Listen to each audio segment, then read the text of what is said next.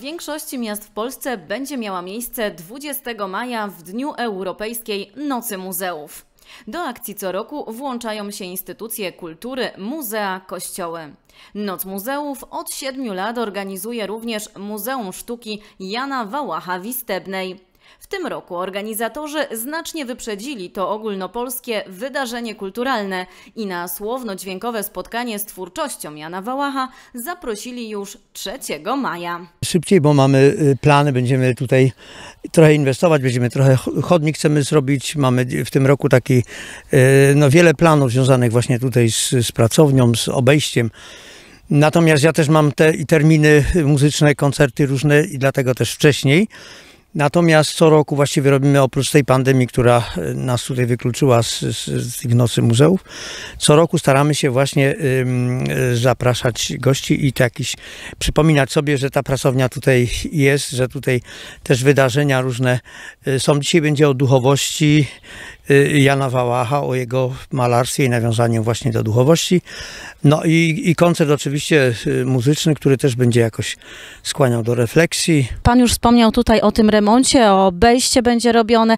E, No właśnie, e, to kiedy rozpoczynacie, co dokładnie tutaj zostanie e, zrobione? No chcieliśmy przede wszystkim chodnik zrobić, bo widzicie Państwo, dzisiaj y, mrzy i musimy niestety po łąkach y, trochę pełnych Czyli dojście, rozumiem, tutaj, tak, do muzeum? Tak, dojście to jest taka dla nas ważna też sprawa, ponieważ, ponieważ tutaj ten obiekt e, musimy utrzymywać sami, więc musimy później e, na kolanach myć podłogę.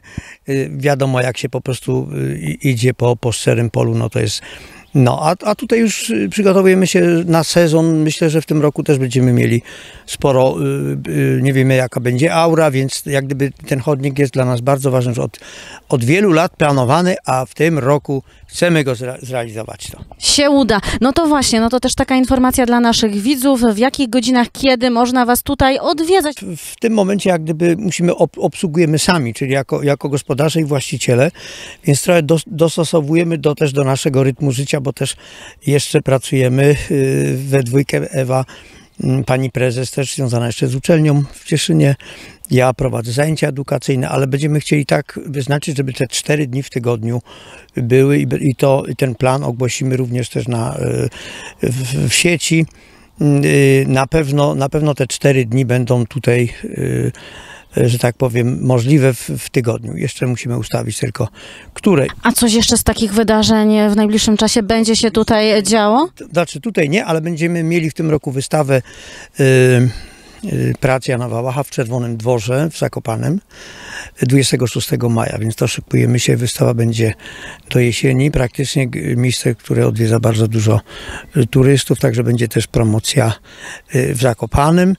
No, a my tutaj tradycyjnie, może jakieś letnie warsztaty znowu będą dla młodzieży, jesienne spotkania integracyjne, także, także będzie się działo rzeczywiście. Ten rok jest taki y, y, wojowniczy będzie.